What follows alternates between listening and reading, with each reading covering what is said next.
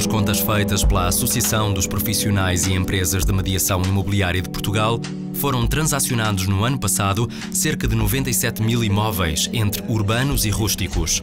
O ritmo de transações acelerou a partir do segundo semestre, graças aos compradores nacionais atentos às boas oportunidades e também a um número crescente de investidores estrangeiros. A tal ponto, alerta o presidente da PMIP que em certas zonas e a curto prazo os estoques de imóveis para venda se irão esgotar, uma vez que pouco se tem construído de raiz para compensar o aumento da procura de casas. Nós temos clientes estrangeiros hoje em dia que já temos de alguma dificuldade de produto para eles. O Parque das Nações, ainda há dois anos, há um ano, não faltava imóveis para vender.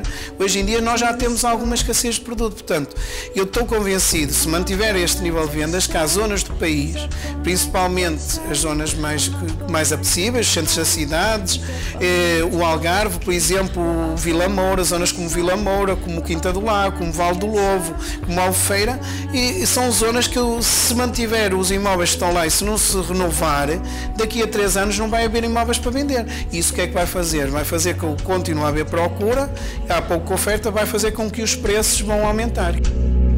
Em 2014 será também possível assistir a um outro fenómeno, ao da redução drástica ou mesmo à extinção do número de dações de imóveis, segundo as previsões de Luís Lima.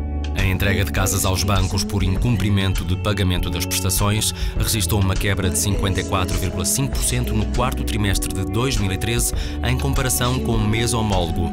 Foram 655 os imóveis entregues nesse período, de um total anual de cerca de 2.500 casas.